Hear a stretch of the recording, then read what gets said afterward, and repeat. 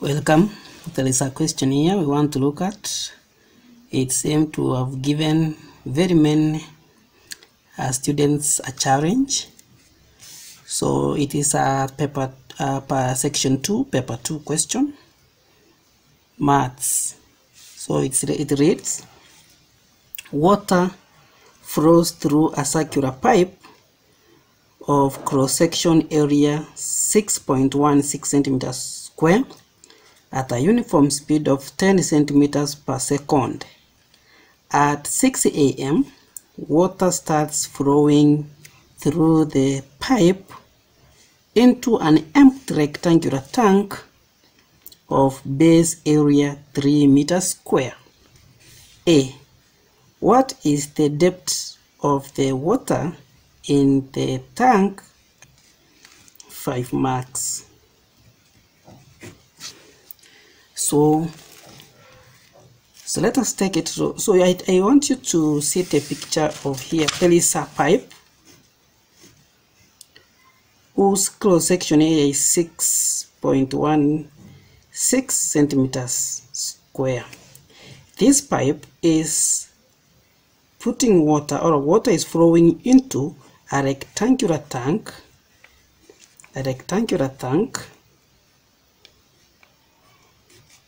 whose cross section area is 3 meters square. So, what is the depth of the tank? So we want to know how deep the water could have flown from 6 a.m. to 8 a.m. How deep? What, what volume of water must have gone with the height of water? That is what we are looking for. So first, we need to find the volume flowing into tank into the tank per second. So volume, we can divide this into two.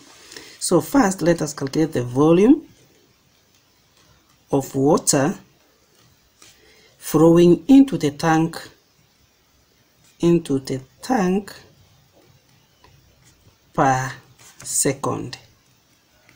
That this one is given by cross section area of the pipe times the speed.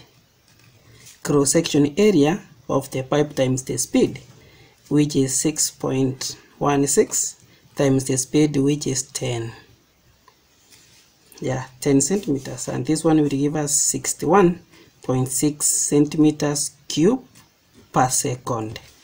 So water is flowing into this rectangular tank from this pipe at 61 or the volume is 61.6 centimeters cube in one second right? Ah remember we have been told that the cross section of the tank the cross section of the tank is 3 meters square. Therefore remember this one is centimeters square. So let us convert this volume into meters square into meters cube oh yeah meters cube and then we shall know what volume in meters cube is flowing per second. You should know that one meter cube is equal to 1 million centimeters cube. 1 meter cube is equal so we will ask 61.6 centimeters cube will be what? So this one will give us 0 0.000 0616 meters cube. So 0.0000616 meters cube is flowing into the tank, rectangular tank per second. Right? Now we want to know water started flowing at 6. 6 what? 6 a.m. So the question is what will be the depth when time is 8 30 a.m. So from 6. So first let us get the time, the period here. So 8 30 minus 6 it will give us two and a half hours. Right? So this water has flown into the rectangular tank for two and a half hours. So, but we know that this 0.00616 is meters cube is the volume that is flowing per second. So let us mm. convert this time hour from hours into seconds. We know that one hour is equal to 3600 seconds. So we will ask 2.5 hours. Will it be what? So 2.5 times 36 thousand uh, this one will give us 9000 90000 2.5 times 3600 will give us 9000 seconds. 9000 not 90 9000 seconds. But we know that one second the water that is flowing into the rectangular tank is 0 0.000 uh, 0616 meters cube in one second. In one second is so we will ask 90 now 9000 9000 seconds will be what will be the volume? Because after two and a half hours this is the the, the time in seconds. So what will be the volume?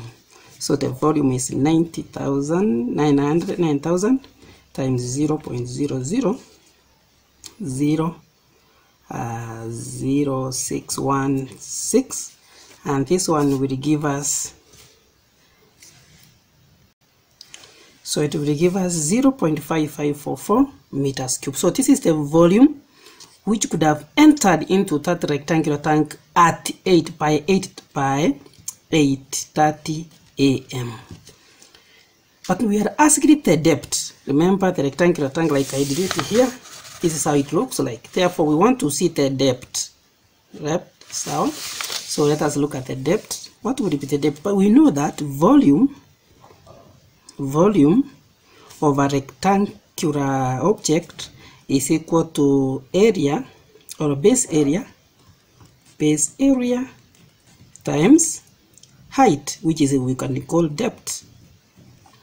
Now this volume is 5, or is 0 0.5544, which is equal to base area, which is 3, times depth. So for us to get the depth, we divide by 3 both sides. It means that the depth is equal to, we divide by this one 3, it will give us 0 0.1848 meters or we convert this into centimeters it is 18.48 centimeters centimeters. So that is the depth or the height of the water by after two and a half hours at 8 a.m you can see it was not a joke. Very good. Let us go to part b which has also five marks. Part b. If the tank if the tank is 1.2 meters high and has a hole at the bottom through which water leaks at the rate of 1 or 11.6 centimeters cube per second. Determine the time at which the tank will be filled. So first, let us get the total volume of the tank. So the total volume, we know that volume equal to base area times height. And the volume here is, the, the, the base area is 3, the height is 1.2 which is equal to 3.6 meters cube. So the total volume that is required to fill this tank is 3.6 meters cube. Very good. Uh, the next thing now I want to see, there is a leakage, there is a, a leak. This tank, which is 1.2 meters high, has a leak. So as water is getting in, some water is coming out. So the water that is getting in, we have the volume. So let us see water into the tank. Water in is equal to 0. The volume is 0 0.0 per second. 0 0.00 uh, Uh, 0616 meters cube per, se per second. right? Water out. Water which is leaking out equal to 11.6 centimeters cube per, se per second. So we convert this from centimeters cube to meters cube. This one will give us 0 0.0000116 meters cube per second. Right? So now we want to see the amount of water that is retained.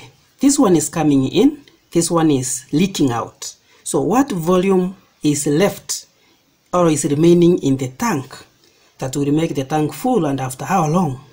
So we want to know after how how long at what time determine the time at which the tank will be filled. How long will the tank take? You can see some water is coming in some water is getting out. So let us get now the water that is retained in the tank. How do you get that? It is 0 0.0000616 subtract the water that is getting out. 0 0.000 uh, 0116 right? Uh, this one so the water that is retained into in the tank per minute the volume is 0 0.00005 meters cube in one second. That is the water that is retained in the tank right? Very good. So if one second water that is retained is 0 0.00005 meters cube. We have the total volume. We will ask 3.6 meters cube. Will take how long? So 3.6 meters cube will take how long the time? So it is 3.6 times 1 we divide by 0 0.00005 remember this is meters per cube meters cube. So this one will cancel out. So we will have in time in seconds. So you place your calculator you use your calculator you will realize that it will give us 72,000 seconds. Right? So 72,000 seconds. It will take 72,000 seconds for the tank to be filled so let us convert the 72 seconds into minutes and hours. So we know that 3600 seconds is equal to one hour. So we will find out 72,000 seconds will be how many hours? 72,000 0 times 1 we divide by 36 0 36 0 0 so this one goes here 1 to 0 so it is 20 hours. Okay now we have 20 hours but remember the water started flowing at 6 a.m so we add the 20 hours plus 20 we will have 26 hours.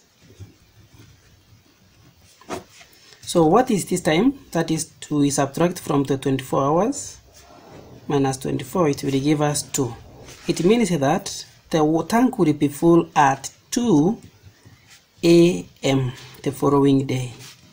The following day.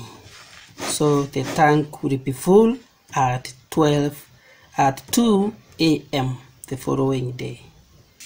Uh, thank you very much. If you have any question that is giving you hell whether it is maths chemistry you are free to comment you can even screenshot the question and you send us. Thank you very much. Remember to subscribe